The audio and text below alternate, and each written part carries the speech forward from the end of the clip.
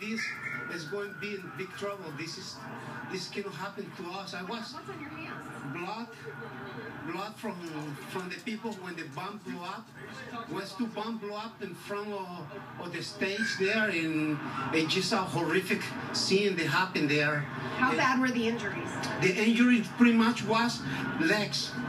It's like the bomb was low because as soon as that bomb went off, ripped a lot of people's legs. I was right there putting pieces of towels in the legs, and at least 20 people was on the ground uh, with all with uh, serious injuries and losing, losing limbs.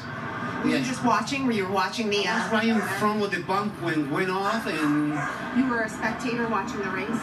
I was giving flags to support the National Guard, which was just what they was coming, and the bomb went off right in front of, of me right there. And my first instinct was to try to help them. And I remember pick up a, a fellow who lost both of the limbs, and and everybody around him was missing limbs too, uh, in a big puddle of blood. And a young lady was sort of begging for help, and hor- horrified, horrified seeing there. Yes, yes. Oh my